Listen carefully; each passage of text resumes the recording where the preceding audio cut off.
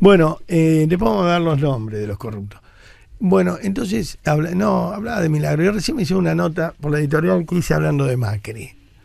Causa escosor, porque claro, que los que son kirchneristas hablen mal de Macri, eh, es normal, todos los días, eh, boludo, que no tenemos...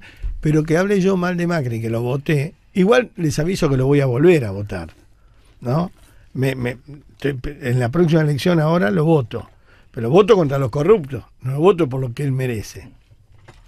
Estos pibes no tienen noción, digo, de, pero no voy a volver a criticarlo, de lo que es, este, la verdad, yo venía por acá y veía gente tapada con nylon Sí, señor. en las esquinas, muerta de hambre.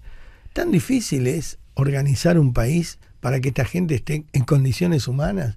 Y después lo más lindo, y, y no se ofenda a la comunidad judía con lo que voy a decir, que vemos las documentales de Auschwitz y decimos, mirá estos hijos de puta, cómo tenían a la gente. Escucho lo de Milagro Sala, que la llevaban a un lugar que le llamaban el psicólogo y les pegaban a las mujeres con, No. boti- con botines de trabajo, las pateaban en el piso. Escucho y, y le sacaban la casa, les entraban en la casa como quería. Veo a la gente tirada en el, abajo del agua, tapada con nylon, en un país donde se nombra a una ministra de bicicleta. Una pendeja que nunca habrá ganado eso en su vida, que cobra 70 o 50, no sé cuánto, va a ser ministro de bicicleta, no de triciclo ni de pedaleta, de bicicleta. Entonces vos decís, ¿vamos a tomar la Argentina en serio? ¿O nos vamos a sincerar y decimos, mira, esto, esto es todo mentira, todo joda. ¿Qué vas a poner? ¿Un restaurante? Pone a vender merca. ¿Qué vas a poner? Un, una casa de masa. Pone un prostíbulo. ¿Qué vas a poner? Un- tu hijo va a estudiar, nena, hacete puta. ¿Qué vas a ir a estudiar tan loco? Vos, nene, vendé, vendé droga dentro de la facultad. Que, andá y que te pongan un voto en la vagina en la escuela de, de- de filosofía y letras, en la Universidad de Filosofía y letras, Sí. para decir que es. eh, eh, ar- ¿Cómo era? Que era, que, eh, Era- popular, sí, na- popular. Nakam Pop. Sí, Nakam Pop. Entonces, ahora, yo realmente, hoy no venía a hacer una editorial porque es viernes, pero justo las cámaras del canal, creo que, no sé quién América. América, me hicieron una nota porque ayer vi que en el programa de Pamela David este, hablaban de todos los periodistas que estábamos decepcionados de Macri. Y vos fíjate que siempre son los mismos periodistas. Son La Nata, Babi, Mirta, siempre somos los mismos. O sea, nosotros somos los que estamos ilusionados y decepcionados porque somos los que creemos. Hay otros que no se decepcionan ni se ilusionan porque como reciben sobre, ya se levantan a la mañana sabiendo para quién tienen que hablar. Que tienen que hablar en contra de. Ahora terminó la época cristina. Ahora le- no me toca a mí, les toca a la justicia juzgarla y si es menester meterla en cana.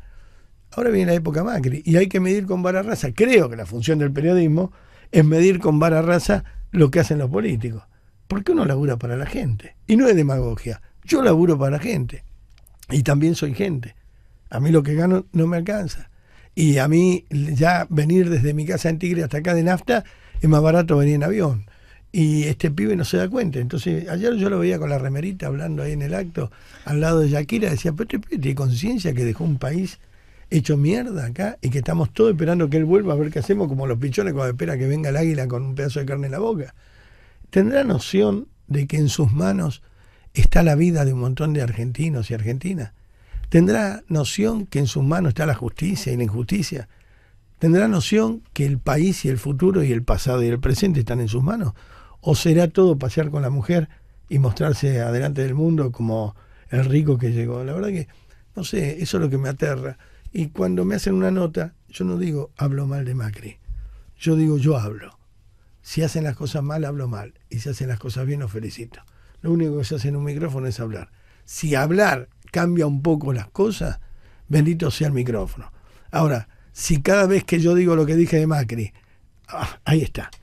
Hace tres días hice un monólogo sobre la autocensura de los periodistas. Periodistas cobardes que este, yo ahí vi que fueron varios a hablar con Macri y periodistas de espectáculo, y volvieron moviendo la cola convencidos del... Yo cuando fui a hablar con Macri conté todo al aire y le hablé lo que tenía que hablarle. Esto le hablé. Lo que estoy hablando ahora. No fui a que me dé la bendición el presidente. Y realmente este, este cholulismo y la autocensura de los periodistas, de no hablar en contra de, porque por ahí viene una pautita y tiene más preocupación a ver si llega Guita que si llega la democracia.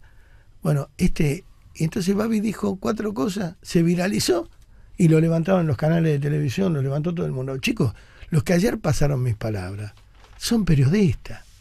Los que ayer me pasaron a mí como fenómeno son periodistas.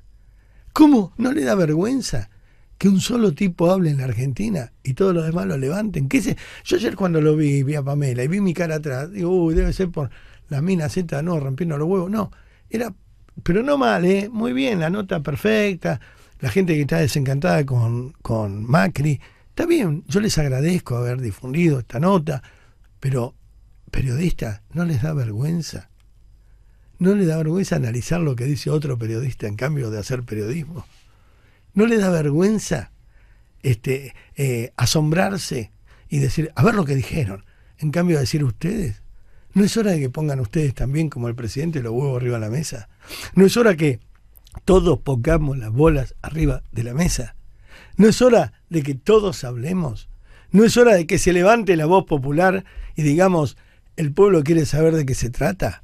¿No es momento que los jueces cobardes y corruptos, en cambio de desviar y querer juzgar al fiscal que investigó a debido, le digan a debido, andate del Congreso que está sucio para estar ahí adentro sentado, metete en cana sin vergüenza de mierda, y no que esté haciendo estos vericuetos el juez para zafar a, a debido de la justicia?